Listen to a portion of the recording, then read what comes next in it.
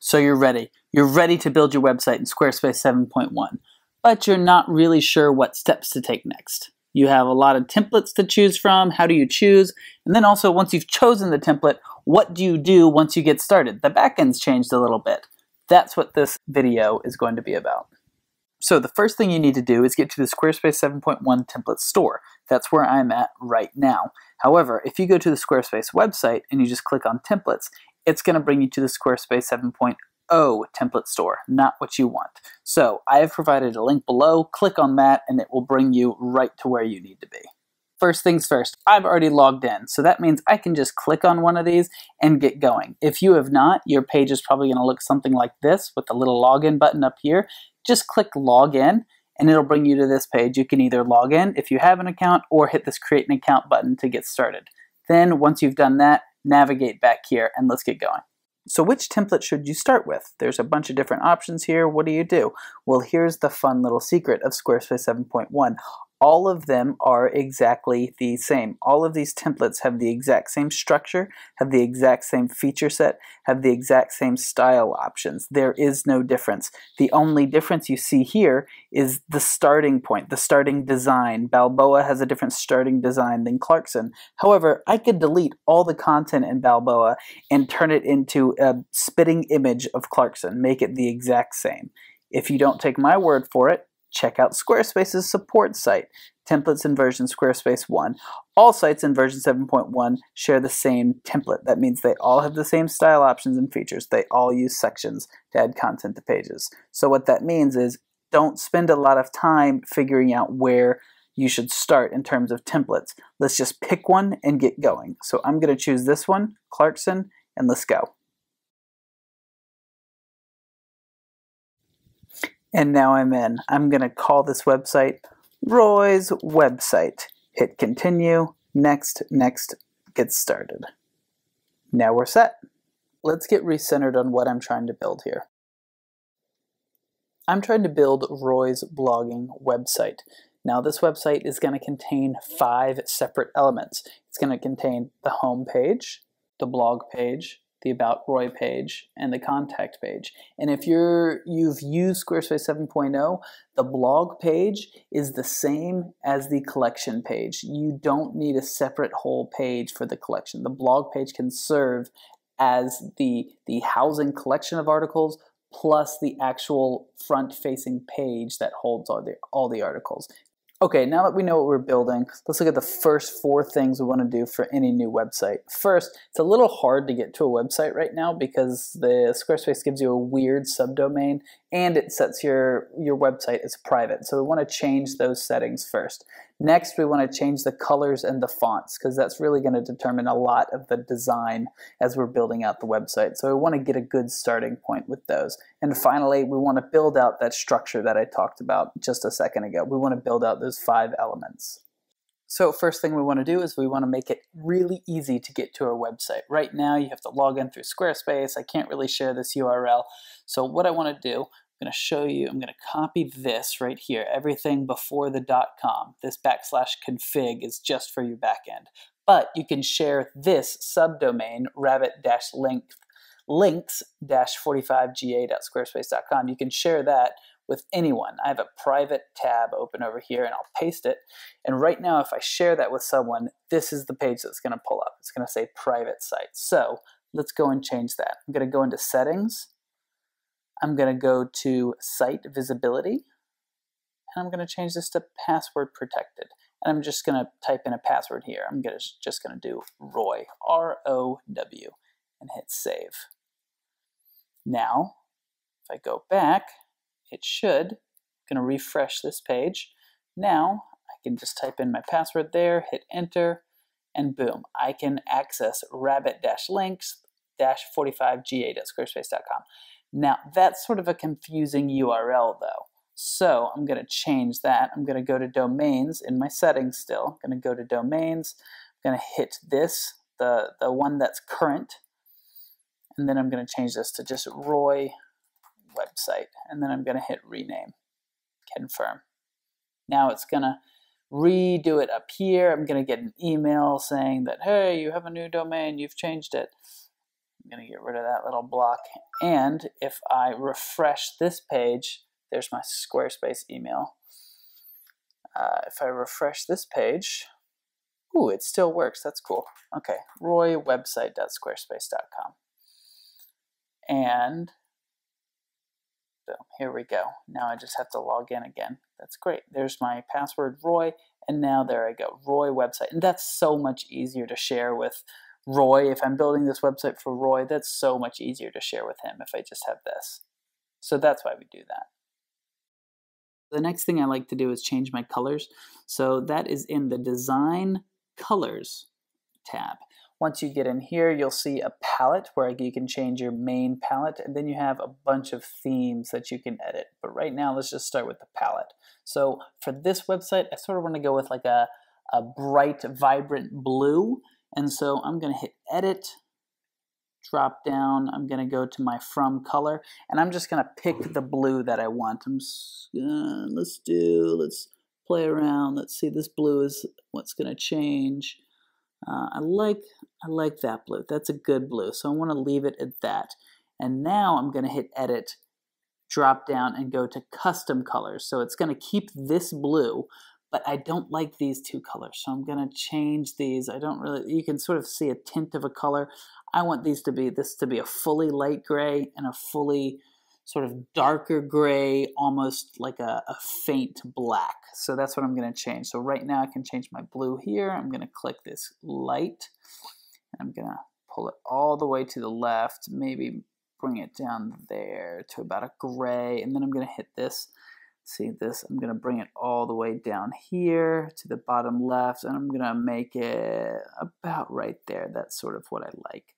Now I'm gonna click out and hit save now, obviously, colors, it's not gonna, I'm not gonna spend two minutes on colors and get it right. So I'm gonna be coming back to this design colors tab in my back end here quite a lot as I'm building out the rest of my site. But just to get started, I like to start with a bold color, my main, my main brand color, then a light gray and a dark gray. That just sort of gets me started as I get going.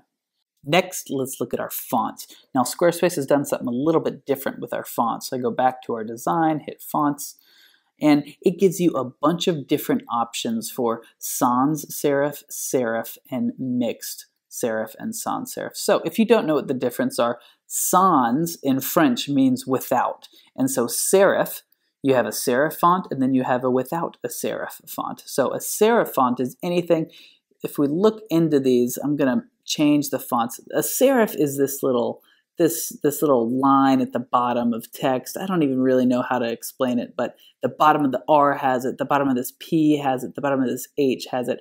These little these little marks on the the fonts. That it means you have a serif font. Other companies like Mailchimp are using a serif font. This is a they're using more of a, a rounded serif font, but you can see the bottom of these M's sort of have that little line at the bottom. They have these little marks on the L, the little at the top there, and at the bottom. The C has this little circle right there at the top of the Z. That just means it's a serif font. So sans serif is going to be without those little marks. You can see all of these are very flat. There aren't any marks on them. They're just standard text, very easily, easy to read, and mixed is obviously some with serif and without serif.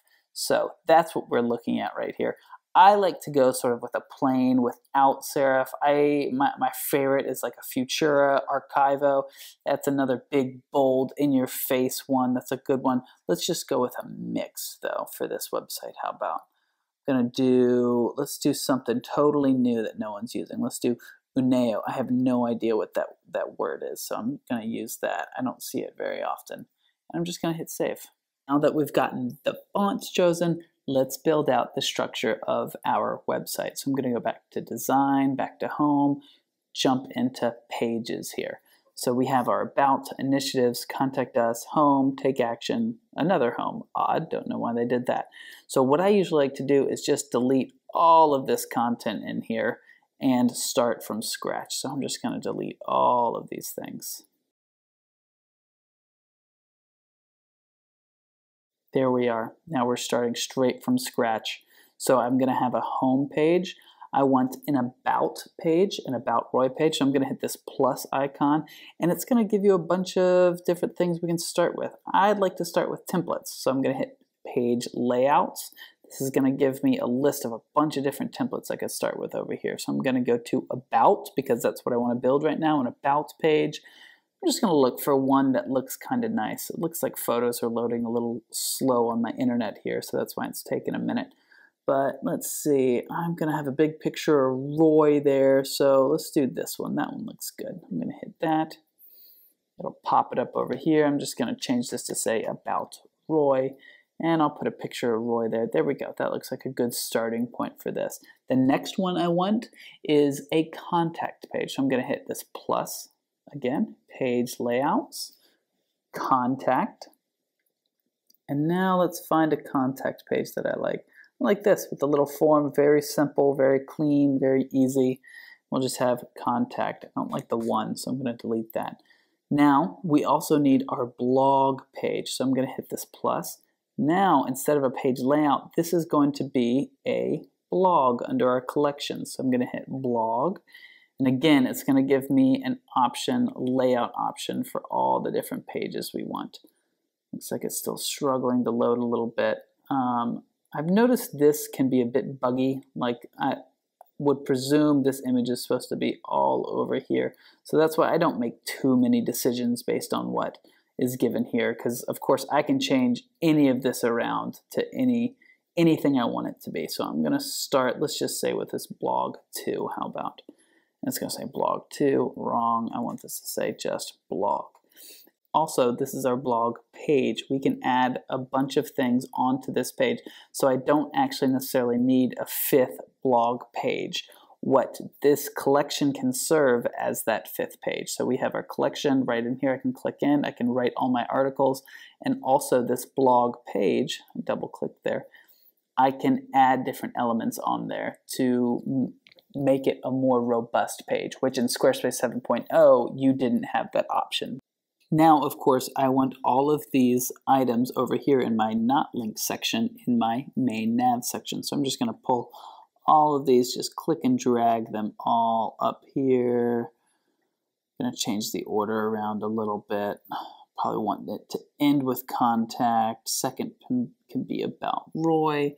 And there we go. So I have all my items right up here in this take action button. So I'm going to click over to my home page and I'm going to change this out because I don't want any of these social icons. And honestly, I don't even want this take action button. So I'm going to get rid of all those. The way I do that, hit the edit button on the page. Going to pop in, hover over the edit site header. Hit edit site header and it's going to give me some options for my layout. So I'm going to hit header layout. There we go. And it's going to give me a bunch of options for me to use uh, to do with my header right here. So I don't want the this element here, this take action element, and these social icons. So I'm going to click into elements. I'm going to deselect social links, and I'm going to deselect button. There we go. Now we've gotten rid of all of them. Also, I sort of want the background. This is going to be a little hard to read. I'm just going to keep the background not transparent as like a white color because that's just going to keep it more clean and simple and it's going to use the default theme of whatever page I'm using. So I'm going to go back. And of course, site title, site logo. I can add a logo right here. I can change this to just, maybe I want this to say Roy's blog. It'll change it right there. I can also do whatever in there. So there we go. That's our header section. So the last thing I want to do is actually build out the page a little bit. So you'll notice each this page is built in sections. This is a section, this whole background image, this everything that's gray is its own section, everything that's white here is a section. So you have a bunch of different sections on this page. So this it's it's laid out sections stacked on top of section. So I don't really like any of this content. So I'm going to go in and just delete a lot of these sections. If you hover over one and hit the, the trash can icon, it'll just ask you if you want to remove it. Just remove it all. I'm going to remove all of these except for the header because I'll play around with the header a little bit. Okay, now we've got the footer there. There we go. Okay, so first thing I want to do is I want to change the, the section height of this entire block. So I'm going to hit this little edit button and that brings up my editing options for this entire section. You can change the section height here. That's what I want to do. I'm going to hit L for large and it's going to make it as large as the screen. I could also change the content width if I hit large. It would allow content to span the entire width of the screen. You can also change the alignment of the text of the content in there. I sort of like it down at the bottom. You also have options to change the background image to a video if you want and the colors. So again, remember when I was talking about colors in uh, in the earlier section. I don't know why it jumped to that. We're gonna, there we go uh, I talked about colors in the earlier section. And you had those 10 themes. Well, here are those 10 themes again, aligned with the colors that I chose. And if I click a different theme, you'll notice it changes the text color, the button color, the background overlay if there's an image. It changes all of those elements. And you can change all of those back in the colors section of the design in the design tab, you can change all of these different options. You have 10 different themes that you can style however you like. Uh, for me right now, I'm just going to click this black minimal just because, you know, I like it. It works. The next section I want to add is a list of all my blogs because people are coming to Roy's website and they want to see my articles first. So, or Roy's articles, I should say. I'm going to hit this plus icon. It's going to allow me to add another one of those sections, the, one of those sections that I just deleted. Here is, again, much like the page layouts, you have a bunch of different options. Sections, you have a bunch of different options to choose from. So what I want to do, since I want to add some of my articles, is I want to add the summary of some of my blogs. But I, there's no block for summaries right now. I don't know why, so I'm going to start with a blank. I'm just going to hit add blank. It's going to give me just a blank little section. And again, I'm going to add a block by just hovering over my little insert point here, clicking, giving me this options, these options here, and let's just make it as a list. I'm going to hit list, and now it's going to pull in my blog from blog. I'm going to select that, and there are my four blank blogs.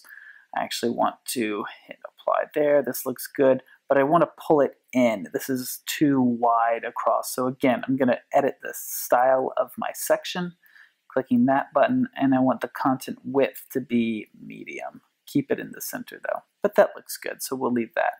Then finally, I want an area, ooh, delete this, this little block, don't want that.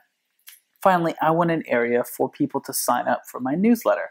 So again, I'm gonna hit this plus icon again. Now, you see newsletter right here. So I'm gonna click on newsletter, and I'm just gonna select one of these. These all look pretty good.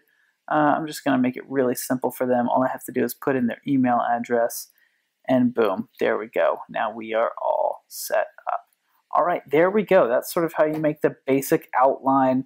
You could just fill in this content. I'd get Roy to write some content here. You can fill it out if you want, if you're if you're building along with me. Very simple, very easy to build a super crisp, clean, yet refined website in Squarespace 7.1.